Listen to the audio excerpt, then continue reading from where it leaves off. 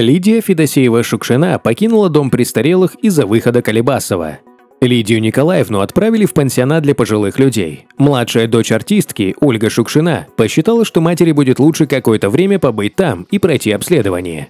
У мамы есть возрастные заболевания, она должна находиться под постоянным наблюдением, поэтому я и передала мамочку в руки профессионалов. Бывший муж Барри Алибасов и его сын намеревались чуть ли не вызволять ее оттуда силой. Барри-младший всполошил общественность громкими высказываниями. Артистке требуется помощь.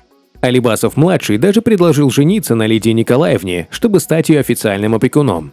Получив свободу в правах, она смогла бы самостоятельно выбирать, где ей жить. Адвокат Шукшиных Юлия Вербицкая-Линник сообщила, что актриса в спешке покинула место оздоровления.